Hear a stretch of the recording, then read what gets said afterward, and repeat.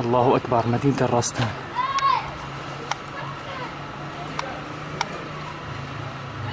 استهدفت هذه السيارة بقذيفة دبابة من كتيبة الهندسة.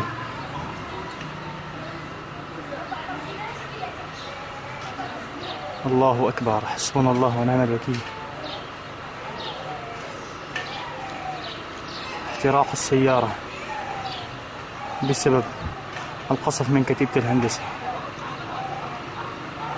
حسبنا الله ونعم الوكيل.